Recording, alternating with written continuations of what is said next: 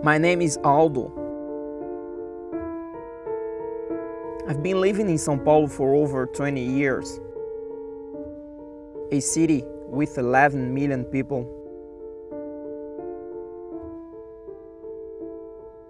Life goes really fast around here. And sometimes I wish it could go a little slower. The Falklands feels like a place removed from the rest of the world, where time must pass by touching your souls. Wildlife comes to your door. Community has a real meaning, and to be safe wherever you are is just a common thing. I'm ready to slow down and see the most beautiful sunshine in the world. Falkland Islands, here I come.